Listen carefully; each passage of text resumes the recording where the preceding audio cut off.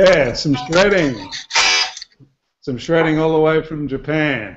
Hi, I'm Gary from learntoplaymusic.com and welcome.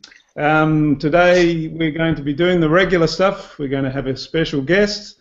Uh, we want to interact, inspire, get you to ask some questions. So uh, don't forget your Q&A app and whack on your headphones and uh, look forward to talking more about it after the show. Today's guest is musician, composer, and teacher Jason McNamara, joining us from Japan. Hi, Jason. Good morning, folks. How are you doing? Konnichiwa, ohayo gozaimasu is actually the correct way to say good morning ah. in Japanese. Konnichiwa.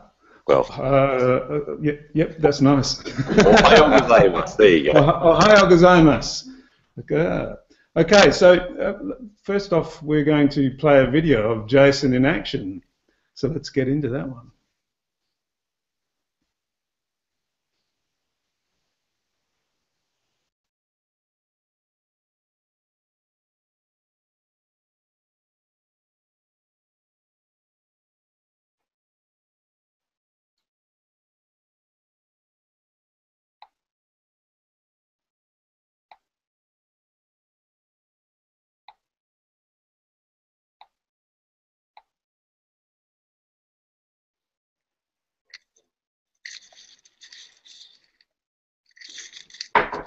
We're having some trouble with that, Jason, unfortunately. Seems like it. Yeah. Anyway, while I've got you, um, why did you decide to get into music in the first place? Well, funny enough, I really loved music. Like my mum was just here in Tokyo for a holiday for a couple of weeks, and she told me something I didn't even know, which is apparently even as a baby, when my parents had music on, I was actually bopping in time and hitting things in time with music, even right from infant stage. So uh, it turns out that my roots go back further than I even knew until a week or two ago. Um, but so as far as blood. Well, it seems to be. Yet, strangely enough, like much like um, your guest Peter last week said, I've never had a member in my family that I knew of who was musically doing anything. Um, okay, so yeah. skipped generation maybe. Well, uh, may have skipped a lot of generations because, like, going back through the history books, it doesn't seem to be that there was anybody else who was into it. And yet, my brother, um, who's only 20 months younger than me, is also a drummer as well. Um, we used to play around Adelaide together many, many, many years ago, like 20 something years ago in bands. And uh, yeah, so it, it's just been in me ever since I was a kid. I first thought I wanted to be a DJ, and then I kind of went, hang on, why should I play other people's music when I could get out and play their music? Yet, oddly enough, I've made a larger career out of covers than original music over the years anyway. well, haven't most of us. That's usually the case. But most most musos that are out there playing covers have got their own music going on. Well, as do sure. I, exactly. Yeah. So, doing what you do, a guitarist, keyboardist, producer, um, it's taken you around the world. So, how did you get into the international music scene in the first place? Well, the international thing for me was covers. Um, most of what I've done has been, aside from a few other things which we'll get into after. But uh, the cover thing, I have a couple of friends, Brian Atherton and David Hewitt, who were doing. Well, Brian had already done the international thing, and he hit up David Hewitt. And David's a bass player and singer and does a few other things, and said, "Oh." We need a guitarist, we need a keyboard player, who do we know? And Dave just picked up the phone and rang me because we used to live together. And he said, oh, there's a tour happening in Dubai. Uh, this was 1998. And do you know anybody who might want to do it? And I said, well, I'd want to do it. He goes, oh, really? We didn't think you'd want to go. Because I was in a relationship at the time. They just figured I wouldn't want to go. I was like, hell yeah, let's do this. This would be awesome. And so that was how I first got involved with actually going on tour with friends. And it went from there. Fantastic. So, uh, what surprised you about uh, some of the places that you've worked in? Is oh, anything God. sort of um, well, to, just to set up the scene, I mean, I toured Dubai, as I said, in 1998. And then one of the most surprising things happened straight away during that tour was we were at the end of that tour. It was two and a half months worth of playing there. And I, I'm 192 centimeters or six three and a half. I'm a pretty tall guy. And then this guy walks into the Hard Rock Cafe when we were playing there one night. And it was about a week or two before we were supposed to finish, and he was like way taller than me. He was probably this much taller than what I am. Have we got nothing at all? No, no, you're you're okay. Okay, cool. Anyway, Okay. and he was he was an Austrian guy who came in and invited us to go and play. You ready for it? In Kazakhstan. Mm. So we uh, hung out in Dubai for an extra week, and we went to Kazakhstan and played there for a New Year's Eve show, and spent six nights in Kazakhstan, and actually played one gig, and uh, it was a New Year's Eve show from '98 to '99. It was incredible. I mean, you're asking what amazing things happened. How the hell do you ever think you can end up in Kazakhstan of all places? And this was before the days of Borat too. Fantastic. Well, it's, it, it is. It's amazing where music can take you. The, Well, perhaps is. the last place on earth you thought you'd be. Oh well, I never imagined. I mean, you know, back then, um, I remember my brother said to me, "Oh wow, you're going to the country of Ivan Drago, who was the bad guy, so to speak, in Rocky Yeah. Three, I think it was." uh, but then I also ended up touring in China. I went to China three times. Um, played Shanghai for three months. Played Beijing for four months. Uh, went to a place called Wuhan, which is more central China. Went back there again and played in Wuhan again. Um, and uh, then after returning from Wuhan, I got home to Australia and part of connection of how I'm here in Tokyo, although that one didn't work out, I met a Japanese girl. And of course, the first time I came to Japan, which was 2002, was because of a girl. Yeah, it, it seems to be uh, seems to be love takes us around the world as well. Yet the So- funny thing is that what took me to Japan from having met that girl was we met her at one of my gigs in Adelaide at PJ O'Brien's one night. Ah, that nice little link there. Well, it is because seriously, like I, I was playing in the band, and and she, I saw her before I'd even started setting up for the gig, and music just, I'm serious, like it opens up so many doors. You just got to find connections and make things happen. Yeah, that's true, and and it also uh, keeps the brain very active. I think that's why a lot of musicians tend to uh, look a bit younger than perhaps what they are, with a few exceptions, of course. Well, yeah, look, I mean, I'm 42 and I feel about 102 because my son is so well at the moment, but that's the way it goes. yeah, exactly. So, it, just traveling around the world and playing music, do you find that people react the same way to it wherever you are? Does it seem to be a similar experience for everybody? Oddly enough, it's an interesting thing that you bring up about asking that. Um, when I've been playing shows, I've actually found that international audiences are more responsive than audiences back home. And I don't mean to be dissing home, but it's a simple fact that if you're playing in a pub and everyone's standing around drinking and blah, blah, blah, blah, this is not the original scene, remember, this is the cover scene. Um, nobody really cares too much about that. They just like, play Jesse's girl. And I'm like, I'm not playing Jesse's girl. There's no way I'm playing Jesse's girl. Oh, Uh, what a damn. Well, no, because you I was see, this is ask you to play Jesse's girl. I could, but I won't. Um, but the point is, like when I've played out, like in other places around the world, you tend to have it that the audiences come there because it's a special thing to have a foreign band, which is why a lot of these countries that we've played in um, have actually hired foreign bands.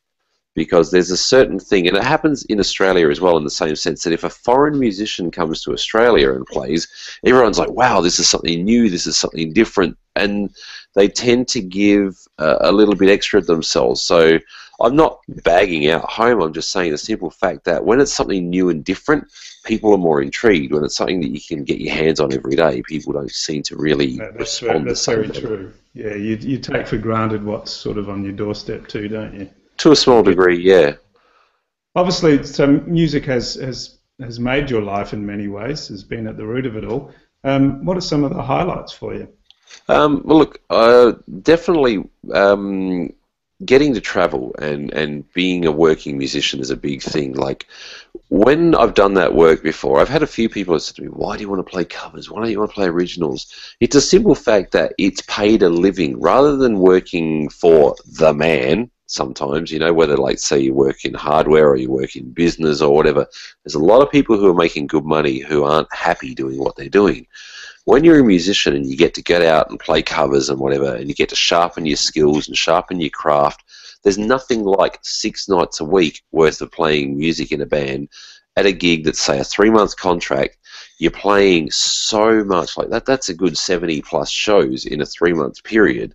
What that does for you as a musician is huge because You don't have the luxury of, say, a rehearsal room where you can stop and redo. When you're on stage, it's sink or swim. You know, and if you make a mistake, you've got to plow on through. If you have a car wreck, you're in serious trouble as a musician because you've got to support the musicians in your band, and that's something that a lot of bands, I'm not saying every band does, but a lot of bands don't think about is the fact that if a musician has a train wreck on stage, it's how the rest of the band keeps on plowing through. It's how when you get off stage, you don't say, You're an idiot, can't believe you did that to us. That doesn't help anybody. It's a simple case of, okay, let's sit down and make sure that you learn the passage right. Or let's make sure, you know, that we haven't chosen a song that's beyond our reach or whatever it is. And it's really important to get through that stuff together. That's right. I think uh, mistakes are always going to happen as a musician, uh, particularly in a live situation, and it's just pretty much how you deal with it, um, yep. and how you perhaps even cover it up. Mostly, if you smile and get on with it, most people aren't even going to know it happened. It's so totally very, true. Very true. And music's all about um, sharing an experience. It's not about you know bringing each other down. It's about lifting each other up. Exactly right. So um, yeah, there's always going to be a mistake. It's just a matter of how you deal with it, isn't it? And uh, look, I mean, I've made videos of some of my shows, and I've I've made disgusting mistakes on things, but I've still let them go online because the simple fact of the matter is, it's not like I'm going to go back and re-overdub stuff just to try and make myself look better than what I really am. It's a it's a simple fact. Um, there's a quote that runs around on Facebook a lot. I can't remember whose name was attached to it, um, but it says something along the lines of. To make a mistake as a musician, there's nothing wrong with that. But to play without conviction is inexcusable, and it's totally true. If you're going to get up there and you're going to play, like let's say you're going to play, for example, smoke on the water. As simple as it is, right? If you're up there and let's say you get to the solo and you play like this, that's all well and good uh, because the notes are all there. But that little thing of the intention and the feeling that goes behind it, doing like it's not about how hard you grate the strings and all that. It's just about putting your own energy and feeling into what you're doing. It makes a huge difference. People feel that in the audience too. That's exactly right. It's um, it's a conviction to the music that that, that most audience mem- members can um, can see pretty well straight away. You're either convicted to the song or the piece of music, or music in general, like a, a great deal of musicians. Uh, you, you can just tell they have a a great connection with the music, and that's what the audience wants. Exactly. Um, Jason, we don't. Unfortunately, we're having trouble with the uh, the video, so we can do a link. Uh, we can link up to the, the videos in the blog at the end of the show. Sure. Um, so for now, we'll just plow on. Um, when when you went to Japan first, what well even now, what what's the music scene like there? How do you compare it to say uh, Australia? Okay, well, it's an interesting thing. Um, I lived in Osaka originally from 2002 to early 2004. Went back and lived in Melbourne for eight years after being there, and then came back in 2012. And since then, I live here in Tokyo now. Um, the Osaka thing was cool because in Osaka you've got oh, well, in the surrounding area, you've got Osaka, you've got Kobe or Kobe, as everyone likes to pronounce it as, and Kyoto. And within particularly Osaka and Kobe, there's a lot of live music where you can just get out and play a gig and have a great time. There's original stuff as well. But here in Tokyo, particularly, the original scene here in Tokyo is massive. Um, there are gigs happening like literally any night of the week.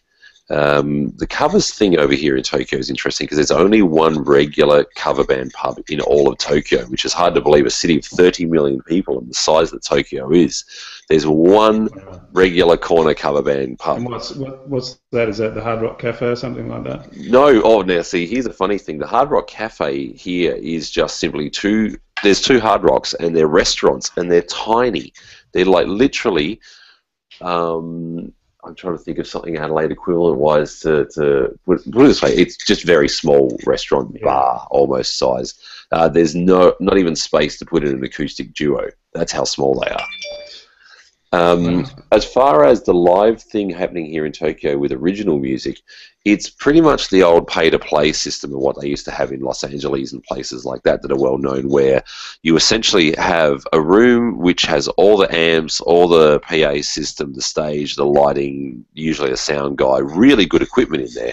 And then the bands uh, usually put four, five, six bands on the lineup to be able to cover costs. They essentially hire out the space um, because they're all called live houses here in Japan.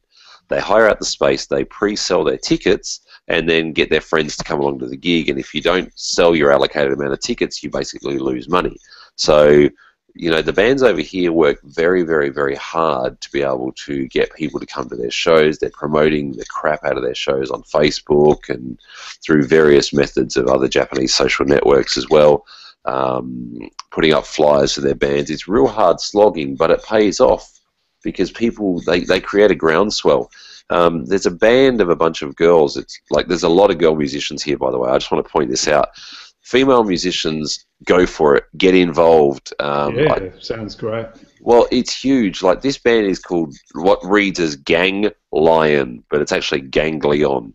Um, it's actually some sort of a skin disease. But anyway, really nice girls, very hardworking band, and they're an exceptional band. I've actually got an interview which I'll send you guys a link to. You can put on the page, which I did with them at last year's Tokyo Guitar Show. Um, and they did their best with English, and they're a really nice bunch of girls and a great hardworking band.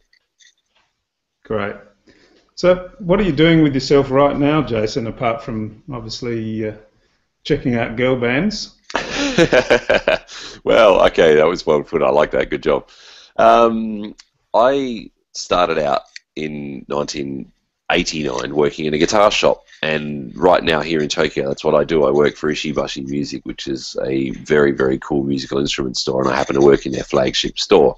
And as anybody who's heard me say when they come into the store, I am the only native English speaker in all of Japan who works at a guitar shop. And I love what I do in the guitar store. Um, it gives me just an amazing bunch of things at my facility. I used to work in Melbourne for Eastgate Music. I worked for Allans in Melbourne as well, and I also worked in Adelaide for Derringers. So I learnt a lot from Peter Vitek, the manager of Derringers. Like I worked there too. Well, there so you we go. had something in common. Yeah, yeah exactly. I never knew that. And, and as you know, you can learn so much from Peter because he's yeah. just so knowledgeable and experienced in what he does. And Marcello, the owner of Eastgate Music, was the same. The pair of those guys, I tell you, is the best education.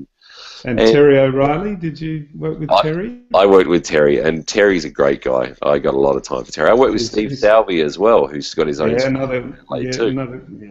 Fantastic. You know, yeah, they're and, people that know their guitars, that's for sure. And that's the thing, like Ian Wright, who used to have the Adelaide Rock Shop, and Alan Atwood, I used to work for them as well. Oh, sorry, I didn't work with them. Sorry, I knew them. I didn't work for either of them, but I, I knew them. I worked with Alan at Regent Music when I first started in 1989. But here in Tokyo, the difference is what I get to do is like, for example, you, you guys would freak out. You come into the store that I work at. I made a trailer for this thing of me walk for this music space interview now of me walking around with my GoPro camera and just filming a quick little hello. So if you watch that, you'll be able to have a quick little look around the store. But that store has 2,000 guitars in the store.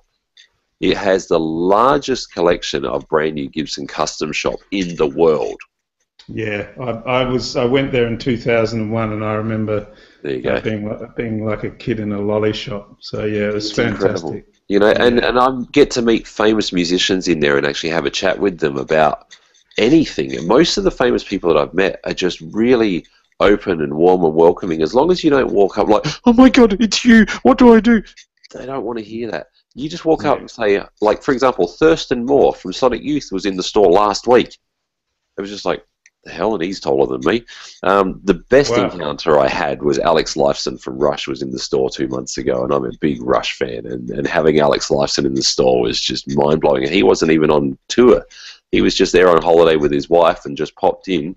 And uh, so I pulled out my camera and actually filmed the video with him that they actually put on Rush.com and also put on the um, Rush Facebook page as well. And it's had like 35,000 views or something like that um, which has been pretty awesome. I had people connecting with me from all over the world, leaving comments. Um, thanks for making the video. Uh, when are they coming back to Japan? When are they coming to Australia? Of course. I mean, I'm not their press agent. I just got to meet Alex and have a chat with him about all that sort of stuff. Yeah, um, that's that's fantastic. It, it, and once again, there you go, playing guitar, and knowing a bit about guitar takes you to a guitar shop in Japan. Exactly. You, meet, where you get to meet some of your heroes. I'll, I'll just quickly say I sold Joe Walsh a guitar at nice. many years ago, which was a bit of a thrill.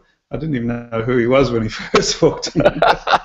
anyway, that's probably why he gravitated to me. I would imagine, just like you said, they like they like the experience of just one on one rather than people sort of gushing and tripping over themselves. Exactly, and, and you know, like when it comes to those sorts of guys, um, don't forget Australia has musicians who are on that level and beyond as well. I mean, you look at guys like Simon Hosford, who tours with Jon Stevens and does a lot of the music shows, Dancing with the Stars and Australian Idol and all that.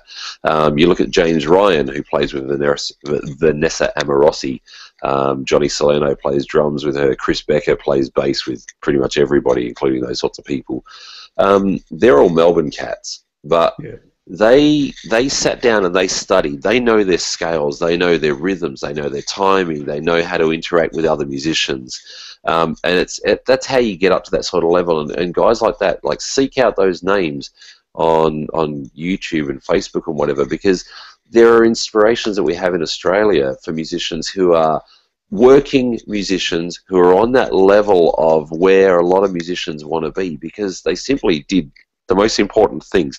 One, you got to know what you're doing. Two, and the beyond everything most important thing, you've got to be amicable and good to get along with. Nobody wants to work with a difficult person, and I've unfortunately had my moments where I've been a bit hot-headed and difficult to work with in the past too, and I've learned from that.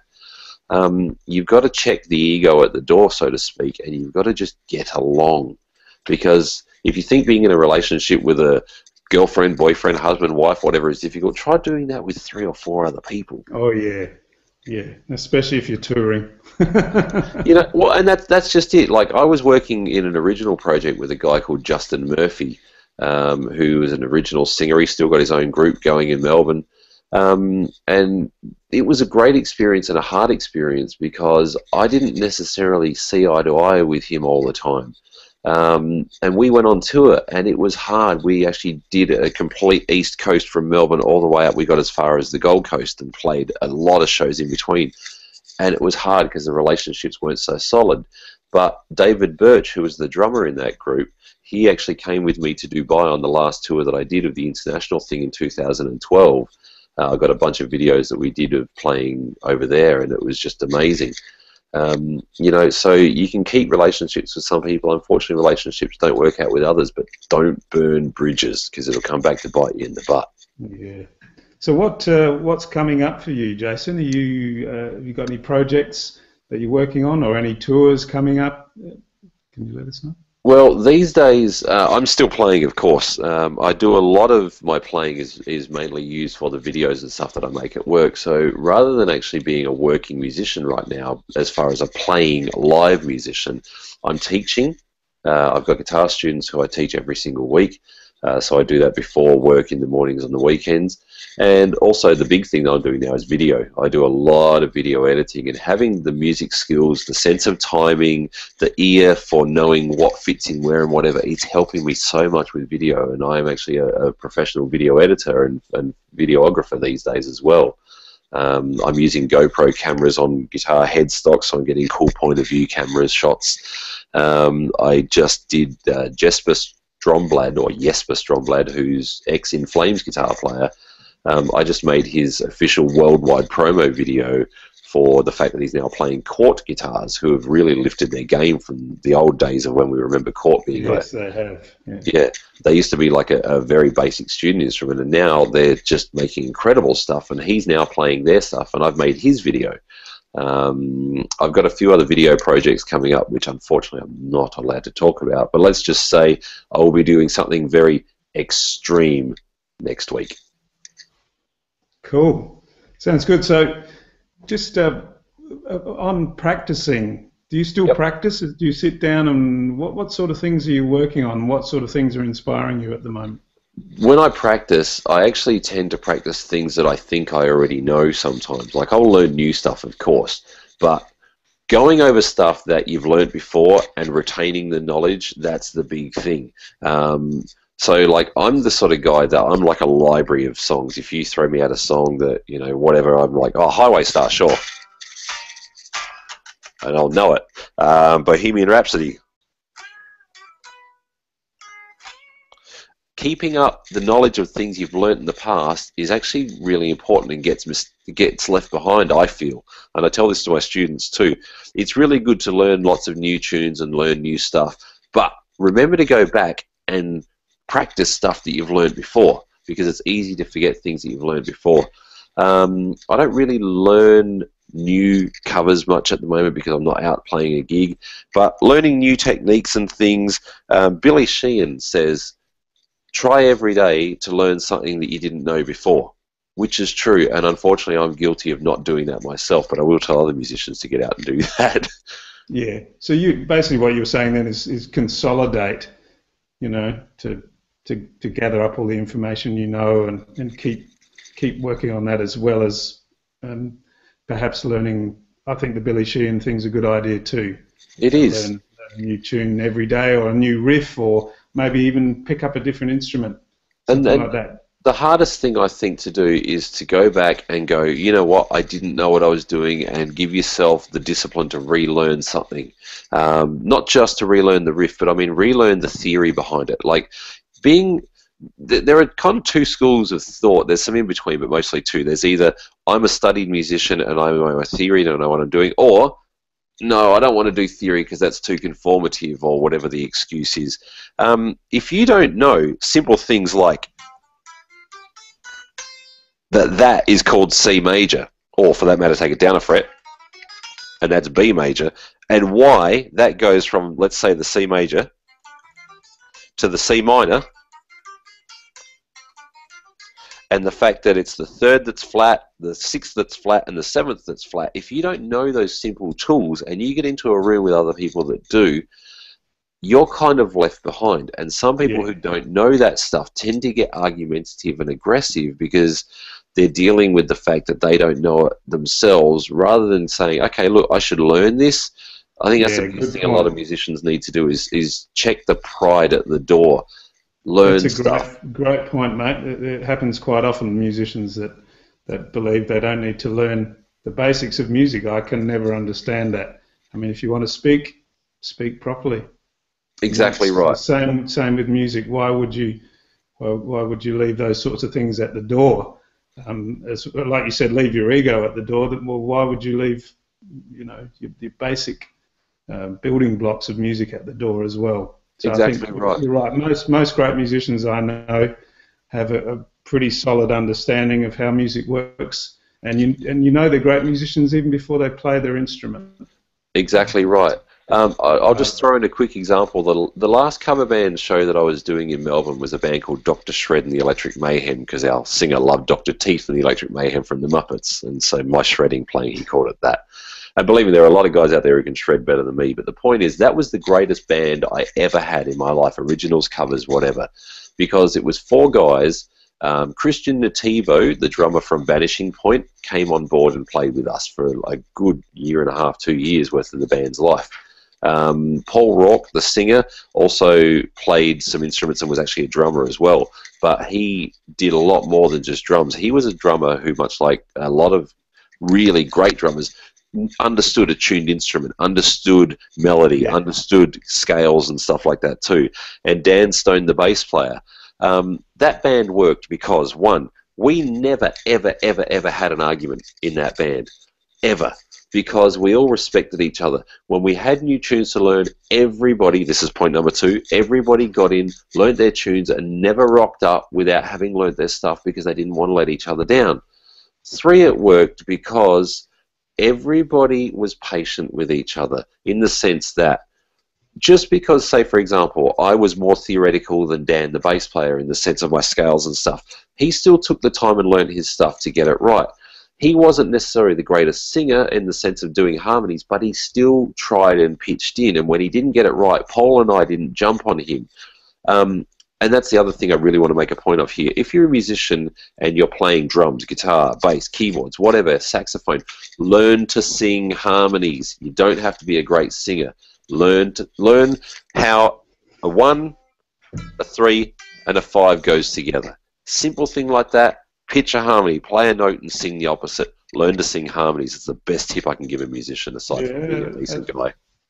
That's great. I totally agree with that. And learn and learn your, your theory. As you said, one three five is pretty much at the heart of all music that we listen to. Completely. All music is one three five, whether the, the the third's flattened or whether the fifth is altered. It's all the the building blocks of speech, which exactly we as musicians want to do is speak to the listener and make stuff up, do things that people think you shouldn't do. So there's no reason why you can't say take a one three five, flatten the three, sharpen the five, and all of a sudden you've actually got what sounds like a completely different chord because it is when you put the notes together.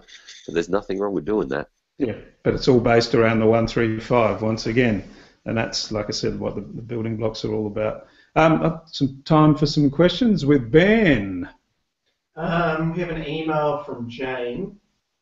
Uh, how do you recommend being a professional, uh, beginning a professional uh, career as a musician? Um, should I go to a high level of study, uh, network, or start by getting a musical job like yourself? Good question.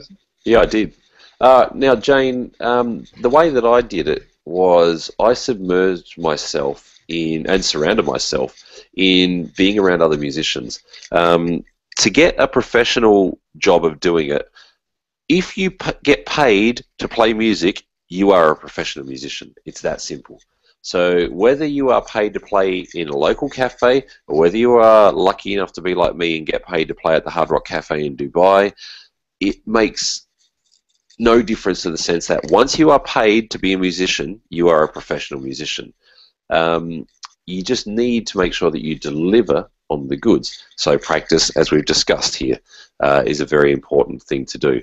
Um, the other tip about doing that is you need to play with as many musicians as you possibly can because everybody plays differently.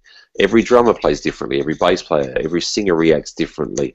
Having the experience of playing with different musicians and lots of different musicians makes that work out. Um, the cover band scene that I did, there are networks on Facebook. Unlike when we first started doing it, there are networks on Facebook of international touring musicians, and the scene is just known as the international cover band scene.